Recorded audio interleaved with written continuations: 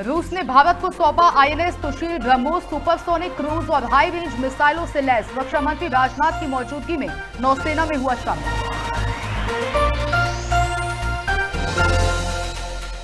Syria पर तुर्की का भी हमला, उत्तरी इलाकों पर किया कब्जा। दमिश्क में हथियारों के ठिकानों पर इसराइल के 100 से ज़्यादा हमले।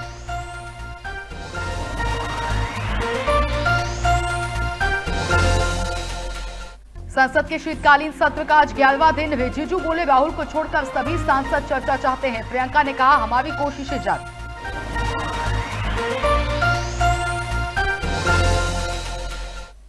बोलवेल में फंसा पाँच साल का आर्यन, सात जेसीबी और तीन एलएनटी मशीनें खुदाई में लगी, चार देसी जुगाड़ भी नका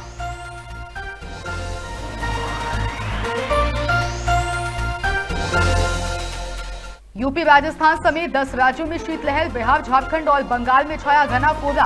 बर्फ़ से ढके केदारनाथ और बद्रीनाथ धाम।